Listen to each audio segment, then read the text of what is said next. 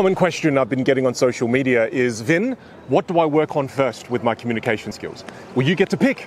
Say, for example, you picked volume because your base volume is quite low, for example.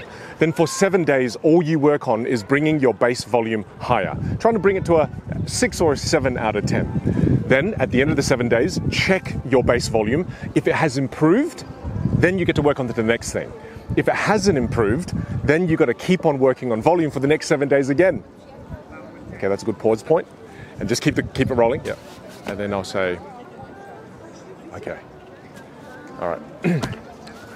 That's how the greatest communicators in the world become the greatest communicators by focusing on just one thing at a time. It's how the greatest musicians in the world become the greatest musicians on the world by just focusing on one thing at a time. Cool.